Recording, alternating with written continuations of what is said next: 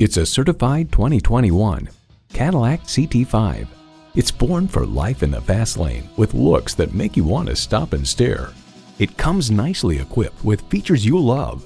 Integrated navigation system with voice activation, front heated and ventilated leather bucket seats, Wi-Fi hotspot, active grille shutters, automatic transmission, four-wheel drive, streaming audio, heated steering wheel, rear wheel drive, rear parking sensors, and twin-turbo V6 engine.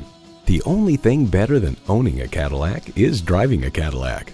The time is now. See it for yourself today. Visit our website at edmorsecadillactampa.com or call us today. For